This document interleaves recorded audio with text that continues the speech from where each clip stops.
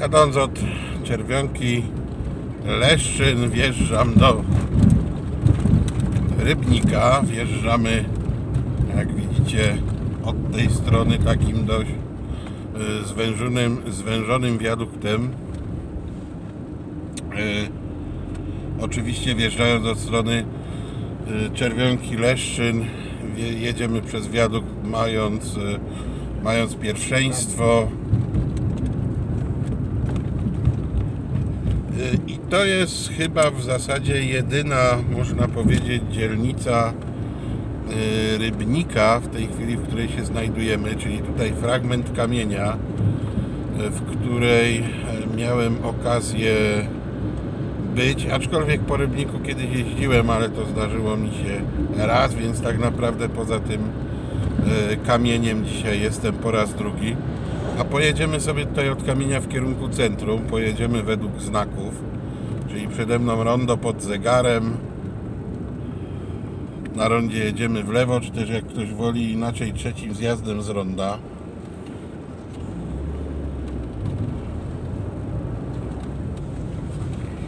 drugim zjazdem, czyli tutaj gdybym zjechał, to byśmy pojechali przez osiedle drogą do Książenic, a więc również drogą, która łączy właśnie kamień z Knurowem.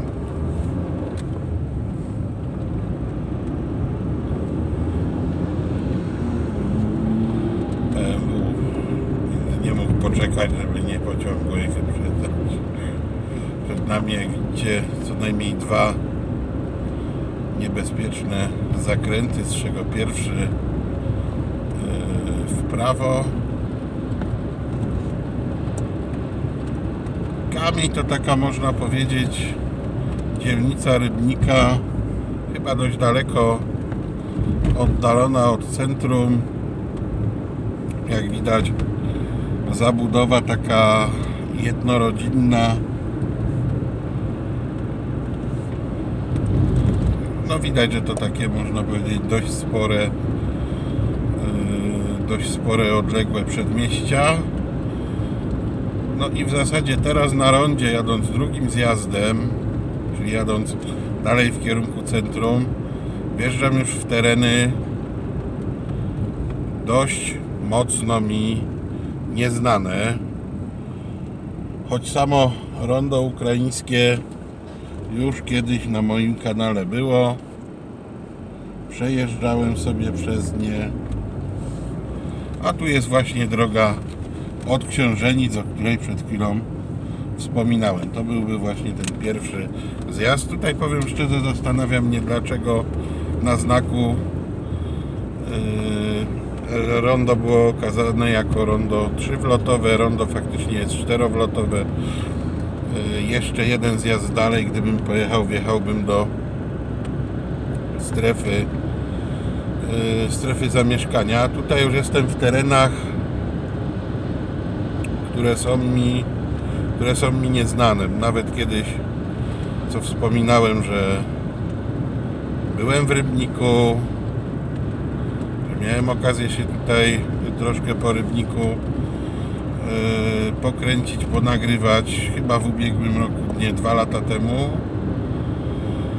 E, to jednak wtedy nie byłem ani w kamieniu, ani drogą e, z kamienia też nie miałem okazji okazji jechać. Odcinek przez las z parkingiem dla autobusów.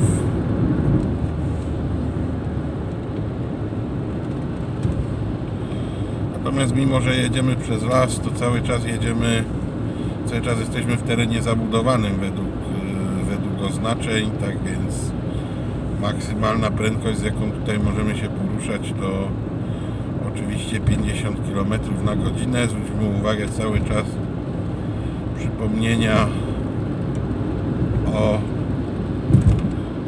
zakazie wyprzedzania. Cały czas obowiązuje nas zakaz wyprzedzania prawda tutaj ciągła też yy, to wyprzedzanie w jakiś sposób też yy, ogranicza, bo droga jest dosyć wąska natomiast oprócz tego dodatkowo mamy mamy znaki zakazu Dopiero teraz za tym mostkiem nam się zakaz kończy. Kończy nam się również obszar zabudowany.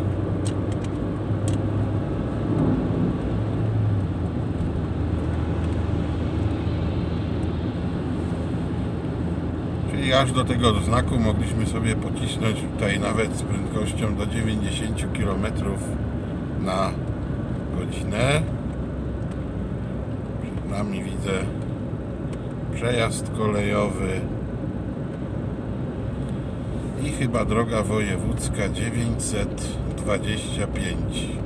Tak jest. I ja będę za przejazdem jechał w prawo.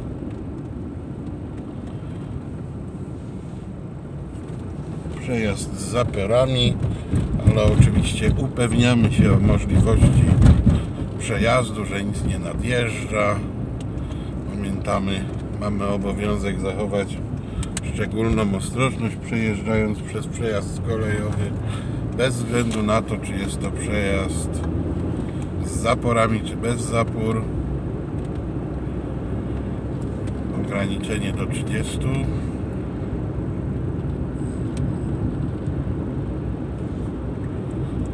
Widzę odwołanie owej 30, ale do odwołania musimy się toczyć z prędkością 30 na godzinę.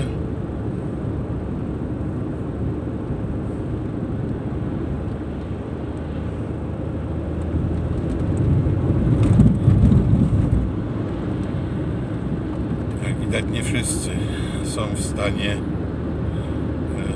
wytrzymać jazdę z takimi niedużymi prędkościami.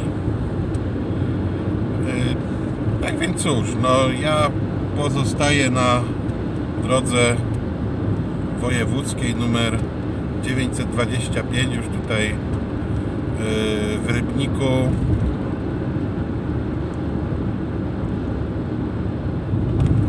Wjeżdżam w teren w teren yy, zabudowany.